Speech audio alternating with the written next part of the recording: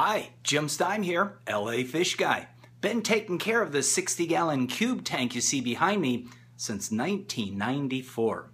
What is that, something like 21 years? Good customers, and if you take care of them, they'll take care of you.